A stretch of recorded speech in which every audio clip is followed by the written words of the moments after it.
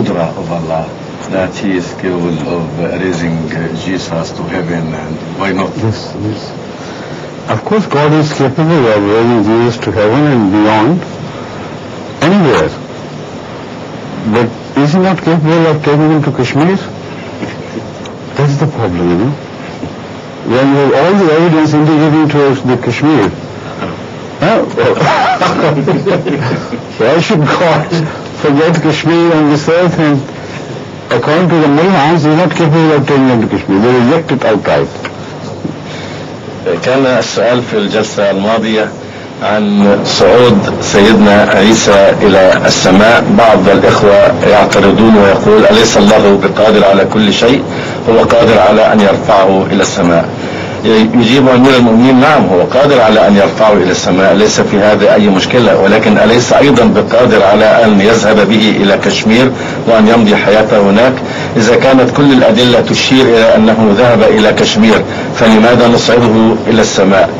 رجال الدين لا يصدقون أنه يذهب إلى كشمير ولكنه يصدقون أنه يذهب إلى السماء. Again, there is the basic issue of God being capable of doing anything.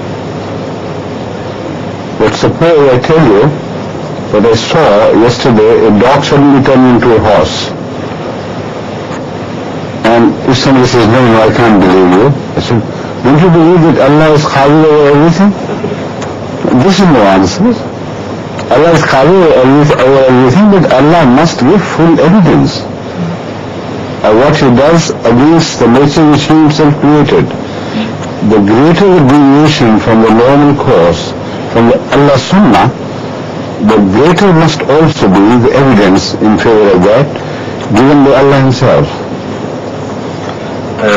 أيضا لو أن إنسان ادعى أنه رأى بالأمس كلبا يتحول إلى حصان وإذا قلت له أن هذا غير معقول لا أجابك أليس الله بقادر على ذلك هذه ليست إجابة لأنه التغير المخالف لسنة الله المعتادة لابد أن يبرره الله تعالى بنفسه ويقدم الأسباب. وكلما ازداد هذا التغير أو هذا الحيود قوة كلما كانت الأدلة أقوى على ذلك. فلا بد أن الله بنفسه سبحانه وتعالى هو الذي يبين هذا الأمر. So it was such a deviation from the normal course and from the sunnah of all the prophets. that even when Hazrat Muhammad Rasulullah sallallahu alayhi wa sallam was demanded, demand was made on him, that he should rise to the heaven and then return, then we will know, then we will believe. You know the answer? قُلْ هَلْ كُنْتَ إِلَّا بَشَرًا رَسُولًا Tell them, I'm only a Bashar and a Rasul, which means to go up into the heaven and return, as we believe about Jesus Christ, is against both Bashariyat and Risalat. So when the Holy Quran is so positive on the issue of man and prophets not being capable or not uh, or ascending by themselves or Allah ever taking them to heaven. And they still insist that you believe in that uh, impossibility.